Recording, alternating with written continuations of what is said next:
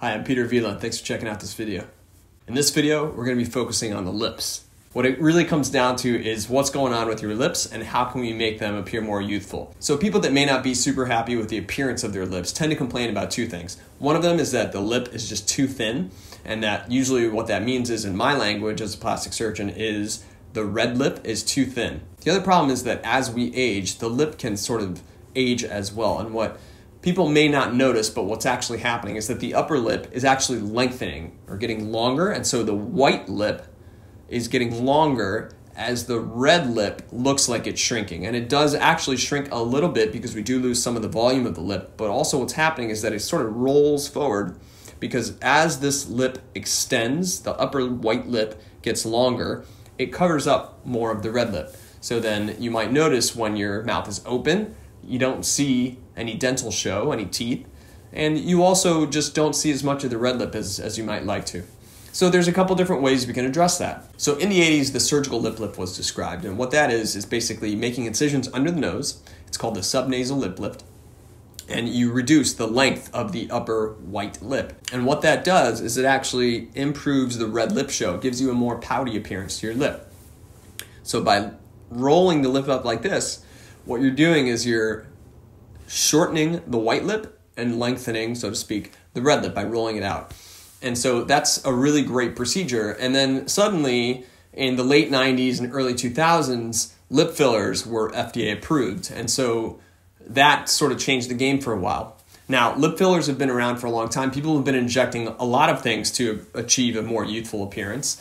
And some of those things in the early days, back in the 80s and 70s even, were things like collagen, silicone. A lot of those have fallen out of favor because they're just not as safe and they're not as predictable. When fillers came along, the first FDA approved filler in the United States was actually Restylane. That was in 1996. So it's been hasn't been around that long. Slowly, some of the other ones came along. Juvederm came along, which I think has really become a lot more popular. So, Restylane Juvederm, the whole Juvederm line, all of those are hyaluronic acid fillers. So, what does that mean? Hyaluronic acid is basically, you can think of it as sort of the lubricant in our body. There's a lot of hyaluronic acid in the joints and in our eyes and in the skin. Okay, so it's everywhere in our body, it's a naturally occurring substance. And what we learned was that you can inject hyaluronic acid and the body will tolerate it quite well because it is a naturally occurring substance and that will generate a little bit of plump. So, over the last 20 years, we really learned that hyaluronic acid fillers are really effective. They don't work for everything, and there are definitely situations where fillers are overused and maybe not used in the right patient. And so, really, when you see things that just don't look right, like duck lips, for example, we'll talk about why that happens. So, with fillers coming along, everybody's talking about lip fillers these days. Why am I even talking about a lip lift?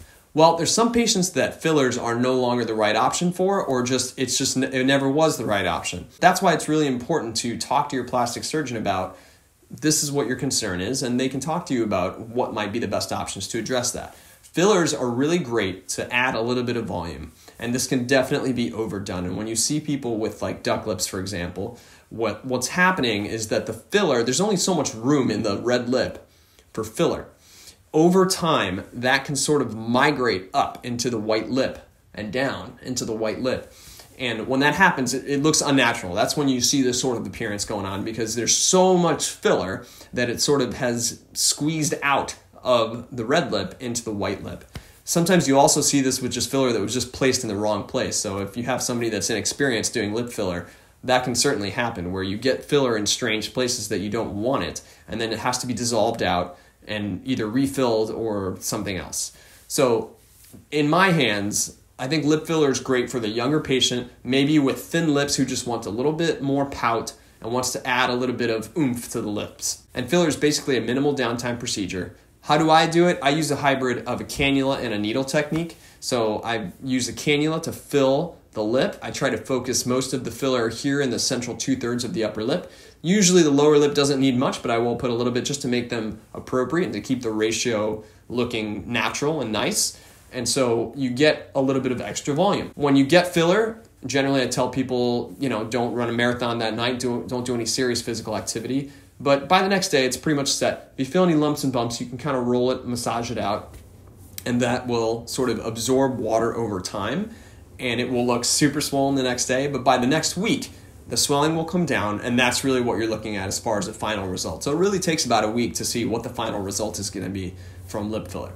If somebody wants a lot of lip filler, then it's going to be a stage wise process. We're going to have to inject a little bit, let it do its thing, and then come back and inject a little bit more until we get somewhere that is where you and I are both happy. And if you try to do a lot of filler at once, that's that's when you start running into filler migration, where the filler is going into places that you don't really want it.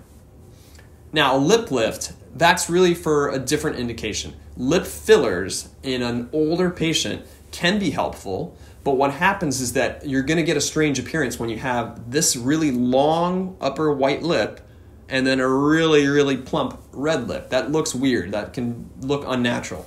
And so for those patients, that's when you're talking about a lip lift. How do you do a lip lift? Most surgeons these days, what they do is they place the incisions right under the nose so that it hides right at the junction between the lip and the nose. And what that achieves again is just it kind of rolls up the lip so that you're shortening the white lip and lengthening the red lip. And that really adds a nice touch to the lips and makes them look much more youthful. It looks like there's more volume in the red lip, even though all we've done is just bring up that white lip a little bit. So, one of the tells that people have had a procedure done is when you might have, for example, very youthful appearing eyes, and then the rest of the face looks very aged. And so I think it's good to try and maintain facial harmony where if we're gonna do like a bleph, for example, and there's a lot of jowling and the upper lip, to do all those procedures at the same time because that way you have one recovery and you come out looking when you're all healed up, it looks great. And really there's harmony in the face rather than the disconnect, which is, can sometimes be a tell. So when you're talking about what's the best procedure for you, whether you're talking about lip fillers or lip lift, I think they're both excellent procedures, and it really comes down to going to somebody who knows what they're doing, has experience, and can really connect with you and guide you down the best procedure that's right for you and your anatomy. Thanks for checking out this video.